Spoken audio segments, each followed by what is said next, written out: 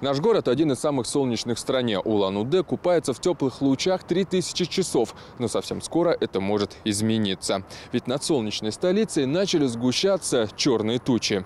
Всем привет! В эфире «Дежурный по городу». Меня зовут Александр Бутуханов, и мы начинаем.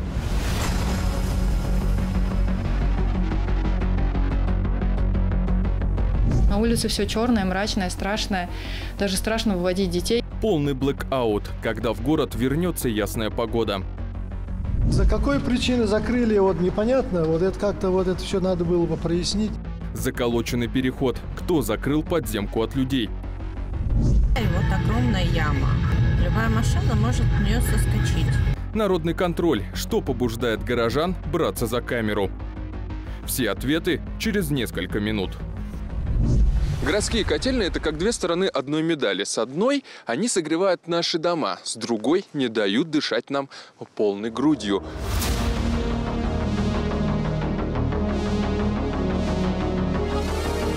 Я вот, кстати, заметил тут одну вещь. Вот все скамейки, которые здесь стоят, вокруг них снег не тронут. Ну, видимо, то, та- а та- та- там же качается. Но единственное, единственное, где люди сидят, это вот под навесом Она снег. она- Вот о- очень часто ребятишки на этой штуке катаются. Тоже черный. Ну, черная. И представляете, какие дети приходят домой. Ну вот видите, день сутками вот это вот идет.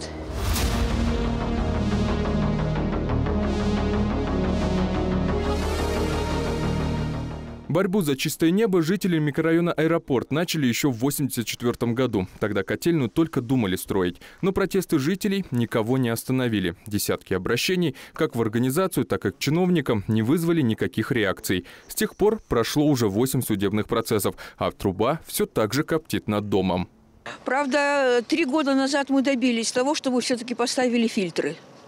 Вот два года у нас был белый снег, и дым был белый. Видимо, фильтры уже э, свою работу закончили, видимо, ресурс уже исчерпан, и вот опять черный дым. Почти такая же проблема и во многих частях города. В начале этой недели мы выезжали в 105-й микрорайон, где рядом находится котельная юго-западная. На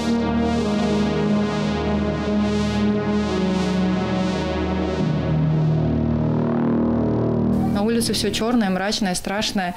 Даже страшно выводить детей. Я- а Сын жалуется, что попало что-то в глаз. Ну, я сама посмотрела, ничего не увидела в глазу. Через час буквально мне позвонила учительница, ну и говорит, что он, он не может сидеть на уроке, очень сильно слезится глаз. Я приезжаю, забираю ребенка, едем к окулисту. Он э, просмотрел и вытаскивает очень большой скол угля. Ну да, он говорит, у вас кусочек угля, и он попал, получается, во верхнее веко. И, ну, нам назначили капли туда-сюда. У ребенка глаз был красный дня три. Последний раз хозяйка убиралась в январе, но даже с тех пор пыль уже осела на балконе. Не спасают даже застекленные окна. Со сквозняком сажа попадает в помещение. Две котельных в двух разных точках города, но проблема одна. Первое, что приходит на ум, так это фильтры. В идеале они должны улавливать большую часть сажи и вредных веществ. Очистка дымовых газов осуществляется установленными на котельных циклонами. Кратковременное выделение сажевых частиц происходит период перехода оборудования при выводе его из резерва. За работой оборудования следят специалисты, контролирующие качество дымовых газов. Вариант номер два. Уголь. От его качества также зависит количество выбросов. Плохое топливо приходится сжигать под большой температурой и в гораздо больших объемах. На котельных для выработки тепла проектами предусмотрено сжигание как бурых, так и каменных углей. В настоящее время для выработки тепловой энергии сжигается каменный уголь с более высокой теплоотдачей. Контроль нормативов выбросов проводится в соответствии с программой экологического контроля. Получается, фильтры стоят. Уголь тоже в порядке. Но почему тогда над Улан-Удэ черный дым, а не чистый воздух? Ну не могут же жители города говорить одно и то же. Давайте рассмотрим ситуацию в целом. Буквально несколько недель назад в Улан-Удэ вводили режим черного неба. До этого люди слышали этот термин в 2020-м. Что тогда, что сейчас одной из причин стала безветренная погода. Дым куполом накрыл столицу. Вторая же причина – котельные. И это не только про ТЭЦ. Дымит и частный сектор, который все чаще вместо дров покупает уголь. Однако переход на электроотопление быстрым вряд ли будет. В первую очередь экологичное тепло получат ДНТ на левом берегу. Дальше по очереди идет поселок Забайкальский. На муниципальных котельных должны появиться фильтры дымоуловителя. Возможно, наладят производство бездымного топлива. Работы рассчитаны до 2030 года. Остается надеяться, что чистого воздуха в Улан-Удэ будет больше, чем черного дыма. Если не сейчас, то по крайней мере в недалеком будущем. И некоторые начали подстраиваться под новые требования. К ним-то мы сейчас и отправимся.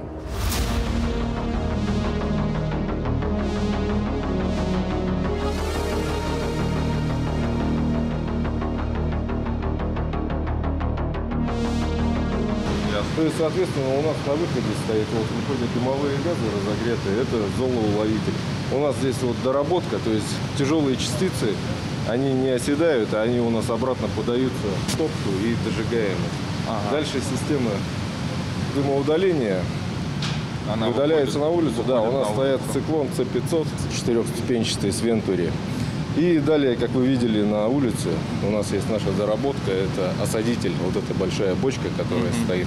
Все оставшиеся взвешенные частицы, они просто оседают вниз. На заводе 4 котла. В день они потребляют от 8 до 12 тонн угля. Конкретно эти два обеспечивают теплом все предприятие. Работают они круглосуточно и в период холодного времени.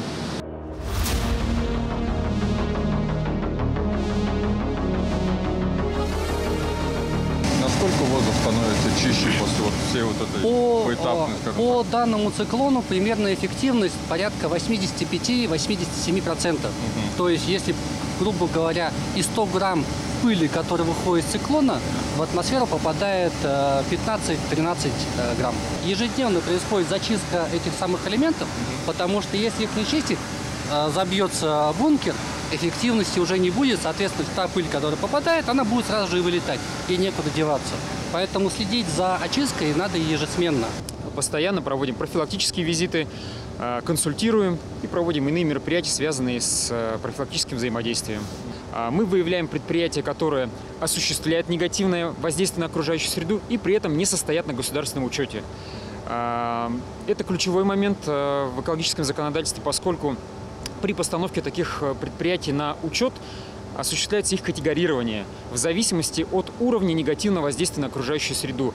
И в зависимости от этого уже подразделяется на уровне экологического надзора. Федеральный, то есть Росприроднадзор, и региональный, то есть Бурприроднадзор. К примеру, котельные ТГК-14 относятся к поднадзорным, являются поднадзорными объектами Росприроднадзора.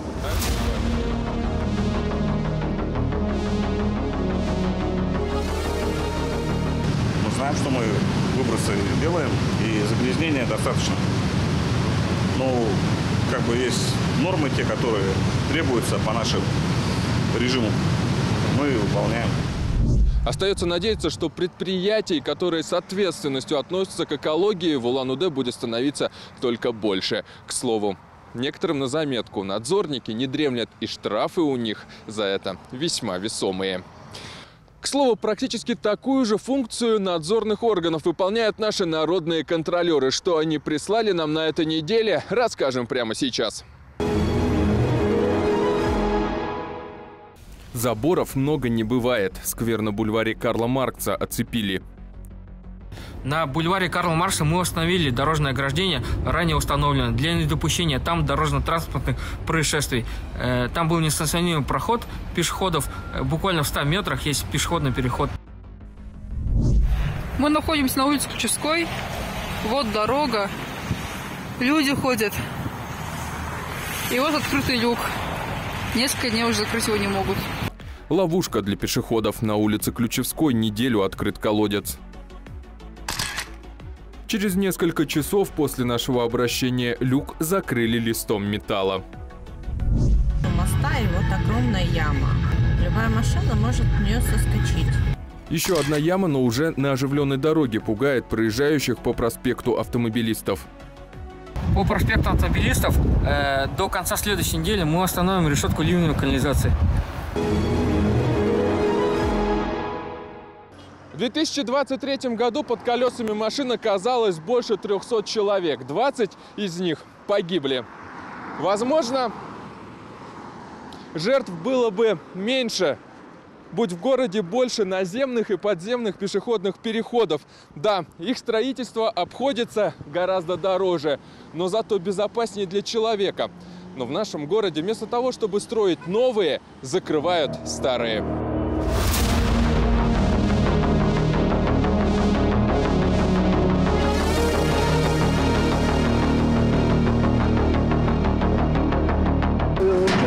Через три дня его опять открыли. Здесь вообще нормально.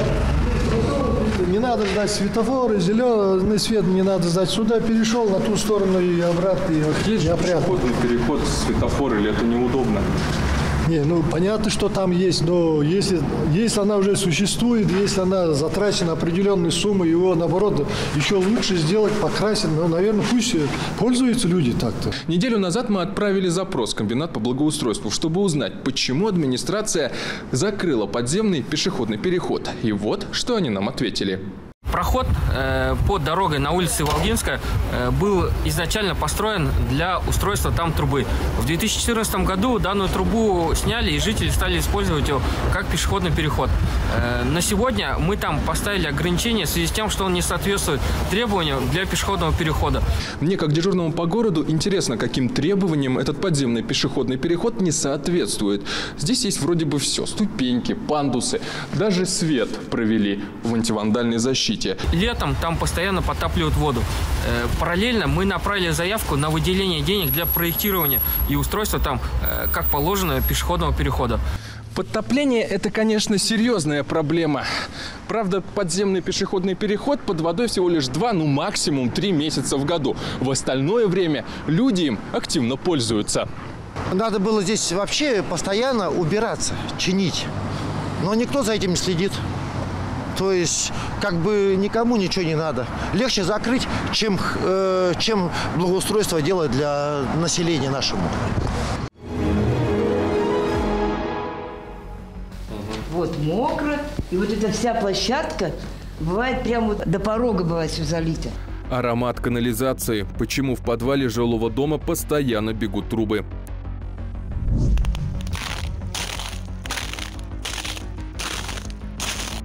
Большая вода. Что делать, когда бушует стихия?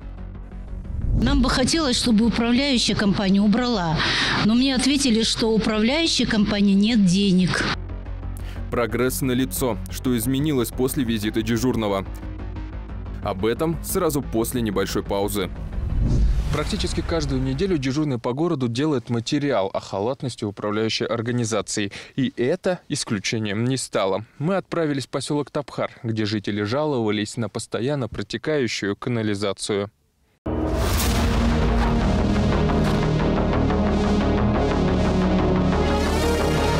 Вот мокро, и вот эта вся площадка бывает прямо вот прям до дверей, прям до, до порога бывает все залито. Проблема уже многогодичная по подвалу, по канализации, э, вообще по воде. Ну, это раз в месяц, это стабильно, вот честно скажу. Звонила, писала всем. Управляющую компанию. За ответами, почему подвал в таком состоянии, прямо сейчас мы отправимся в управляющую компанию.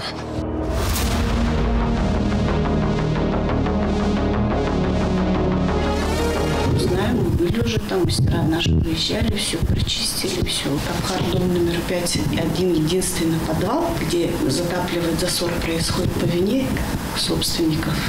Потому что по, именно по этому стояку идет постоянный засор. Когда вот приезжаем на вызова, там постоянно вытаскиваем тряпки.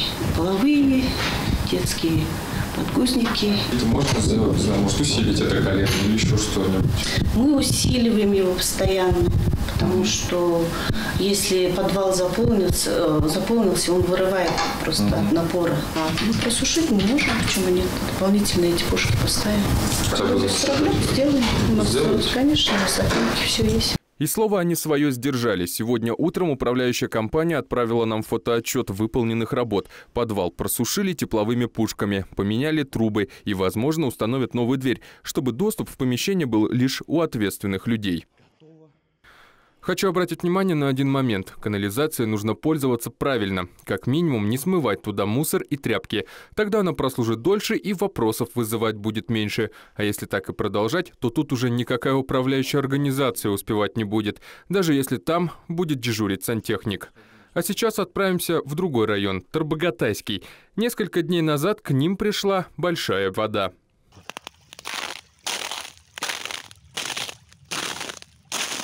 Река Воровка вышла из берегов в поселке Николаевский. Четыре придомовых территории оказались в зоне подтопления. Вода буквально подошла к жилым домам. Местные жители несколько дней борются со стихией. Вокруг своих домов они начали возводить дамбы. Сегодня большая часть работы уже закончена. 14 февраля а, в поселке Николаевском Тарбактайского района а, вышли грунтовые воды в связи с чем были потоплены два земельных э, участка. Дома потоплены не были, жалоб от населения не поступали. Администрация Тарбактайского района и сельского поселения Заводское осуществили работы по подсыпке береговой линии рядом с данным болотом, э, в связи с чем э, дальнейшее распространение воды было остановлено. Данный инцидент был вызван в первую очередь тем, что в данном болоте началась активизация грунтовых вод в связи с чем увеличился уровень воды. Работы по отсыпке были завершены сегодня, 16 февраля. Оказалось, топит уже не первый раз. Примерно в это же время в Тарбогатайском районе вода приходила в прошлом году. Тогда на ликвидацию потратили около 2 миллионов рублей. Мы спросили у МЧС, что делать в таких случаях.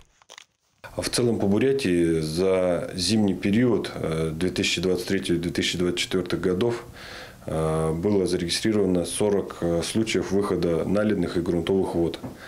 Э, на сегодняшний день на контроле остается 10 населенных пунктов в 5 муниципальных образованиях. Для минимизации последствий от этих явлений проведены работы по пилению льда, по бурению скважин, по отсыпке, где, то есть в зависимости от места и обстановки принимались различные меры отведения вод. В Тарбогатайском районе конкретно в 10 января был зафиксирован выход наледных вод. Э, какие работы там в течение вот всего этого времени проводились работы по пилению льда специализированной техникой. На сегодняшний день там пропилено 500 метров и работы по пилению продолжаются. В Бурятии подтопление частных дворов не редкость. Всему виной подземные ключи. Их выход предсказать практически невозможно. Под водой оказываются не только районы республики, но и Улан-Удэ. Поэтому рекомендуем запомнить эти простые правила безопасности.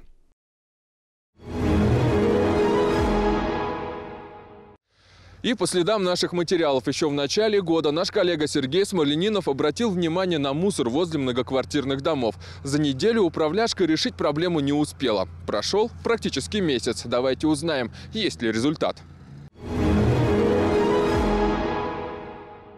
Сложа руки, управляшка не сидела. Контейнеры появились на улице Конечной. Отходы убрали на Мадагоева и проспекте 50-летия октября. Теперь жильцам остается лишь поддерживать чистоту своего участка и не промахиваться мимо мусорного бака.